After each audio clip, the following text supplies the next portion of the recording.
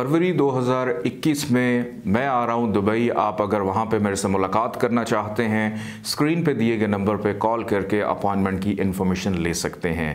EQ gem stones کا باقاعدہ آغاز ہو چکا ہے، اصلی اور مستند اور معیاری نگینیں اگر آپ لوگ حاصل کرنا چاہتے ہیں ایکیو جیم سٹونز سے رابطہ کر کے آپ اصلی اور مستند نگینیں حاصل کر سکتے ہیں۔ اگر آپ اسٹرالوجی یعنی علم نجوم سے لگاؤ رکھتے ہیں، تو ہمارا YouTube channel astrologer Ali Zanjani personal ضرور سبسکرائب کیجیے۔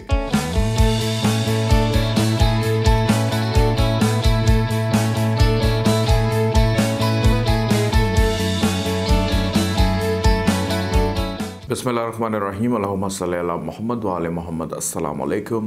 اسٹرالجر علی زنجانی سے حاضر ہوں تمام بروج اور آج کا دن لے کر۔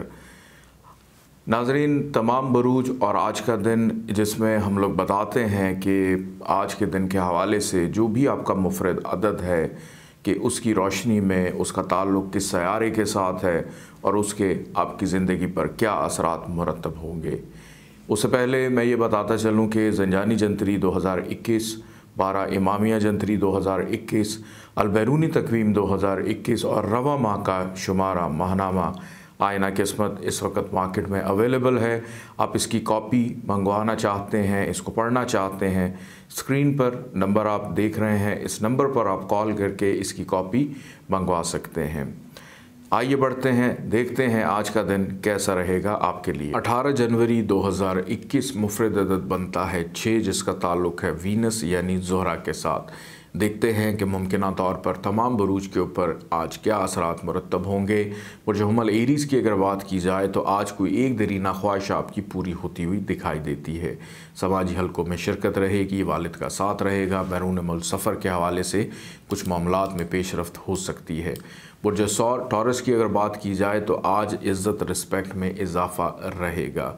نوکری پیشہ افراد بارل پھر بھی احتیاط کریں، اپنے کام دوسروں پر نہیں ڈالنے، اس وجہ سے مایوسی کی فضا قائم ہو سکتی ہے۔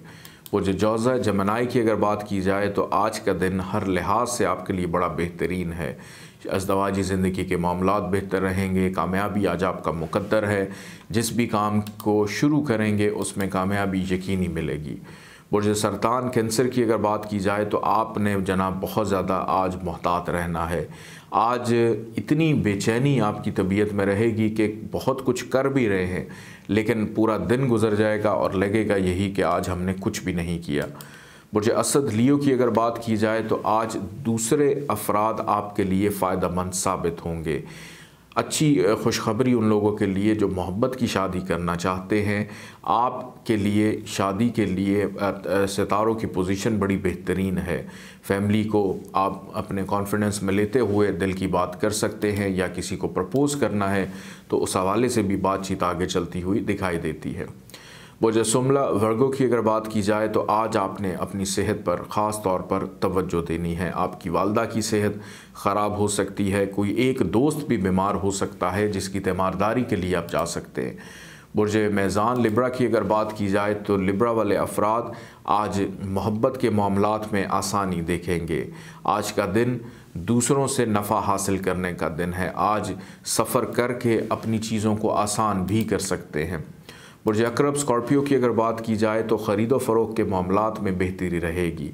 فائنینشلی طور پہ ایک اچھا دن ہے کہ آج آپ پیسے کمانے کے ساتھ ساتھ کچھ پیسے سیو کرتے ہوئے بھی دکھائی دیتے ہیں۔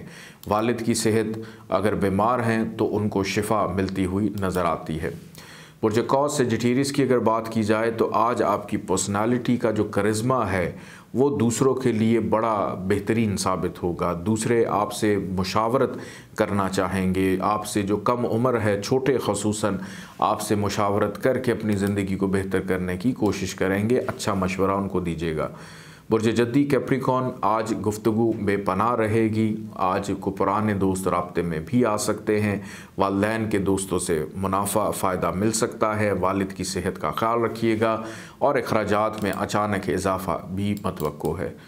برج ایکویریس ڈلف کی اگر بات کی جائے تو آج کا دن دور دراز کے مقام پہ رہنے والے افراد اپنی فیملی کے ساتھ تعلقات کو بحال کریں گے، دل کی بات کرنے کا موقع ملے گا۔ سوشل میڈیا کا استعمال بھی زیادہ ہے، کسی بھی کام کی ابتدا نیک ثابت ہو سکتی ہے۔ برجہود پائسیس کی اگر بات کی جائے تو اخراجات میں تو کمی ابھی واقع نہیں ہے۔